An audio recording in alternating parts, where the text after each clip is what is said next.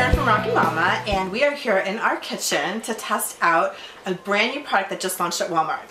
It is the DuPont Sanitizer for Sealed Natural Stone. This is a disinfectant that will kill up to 99.999% of bacteria. It's a lot of bacteria. There are a number of surfaces you can use this sanitizer on. Um, as long as the surface is washable and non-porous, you can use it. I'll have a list for you on the website. And I am going to use this sanitizer on the plate that sits in my microwave. You know, there's opportunity for um, foods to spill over when you microwave them, so I want to clean those surfaces, disinfect them, and eliminate any potential for illness. So, first thing we're going to do is we're going to clean the plate with soap and water, and then we're going to use the sanitizer. The first thing we're going to do is clean the plate with hot soapy water, and then rinse it.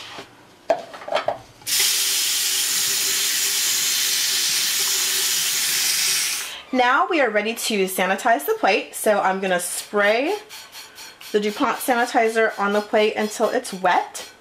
And then you're going to allow it to sit for 60 seconds.